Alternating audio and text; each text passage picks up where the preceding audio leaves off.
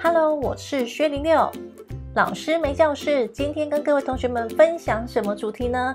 那就是如果你正在学习 PS 或者是 AI，你知道图层的重要性吗？今天想跟大家分享图层有多重要呢？如果你是刚开始接触这些绘图软体的同学们，或者是你有接触这些软体，不过你很少使用图层的话，你可以看一下我今天的经验分享哦。图层真的很重要。那如果你想看我的经验分享，就马上看下去吧。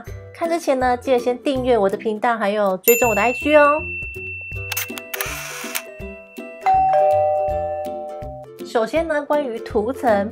要把涂层解构的话，就像一个汉堡。汉堡呢，它解构它就会有上面的面包，有生菜，有鸡蛋，甚至呢是最后的主食。主食呢有可能是猪肉、牛肉或者是鸡肉。那今天这个汉堡你想要更换它的口味的话，基本上把它的主食，也就是肉类部分换成其他的肉。那这种感觉呢，就跟图层的概念很像。今天你要修改一个地方，基本上你只要针对那个图层进行修改，其他地方你可以不用动到它。举一个最简单的例子，就是说，如果你今天要设计一张海报啊、一张 D N 等等，你开启一个新档案以后呢，它一定会有以下几个元素，写说它的出血边有多少，尺寸多少。第二个图层呢，你可以放它的大标；第三个图层呢，你可以放它的内文、缩图啊，或直接插图等等；第五个图层呢，你可以放它的底图。那我在图层的使用习惯呢，我通常会将底图放在最下面，那最上面的图层呢，通常我是会用来标示尺寸或者是出血边。所以呢，我在这里先重新调整我这些图层的位置。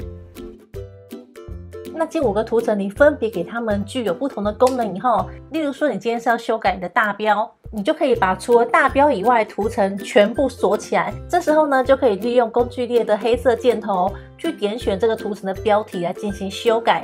那其他图层锁定的好处呢，除了标题文字以外的物件你都会点选不到。那这样子除了方便你修改文字以外，也可以确保你其他图层的物件它能在原本的位置上。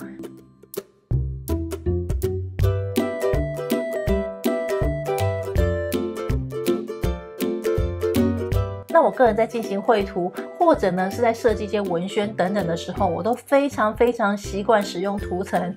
我相信，如果长期在追踪我的同学们，有发现我在一些教学影片都会把图层的观念带到影片给你们，希望你们去练习、去熟练图层。那这边呢，我可以补充一点，图层的新增非常多。已经超过三个以上，你可能会忘记你图层一原本放什么，图层七、图层八可能原本放什么都忘记了。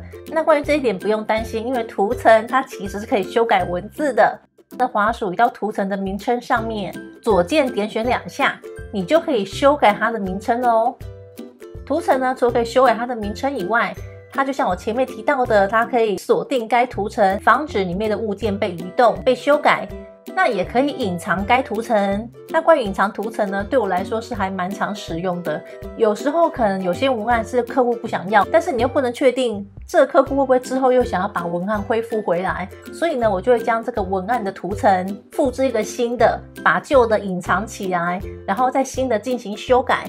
等到如果之后客户突然觉得旧的排版方式他比较喜欢的话，你就可以把原本你复制新的图层关起来。把旧的打开来，这样就不用再另外花时间重新设计喽。